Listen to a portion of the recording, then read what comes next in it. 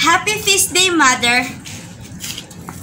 As we till the soil and plant vegetables, we feel it is a coming home to ourselves, to others, and to God. Gradual healing comes from our broken and wounded past. We are made whole and holy. Thank you so much, Mother, for making us feel loved and cared for at Laura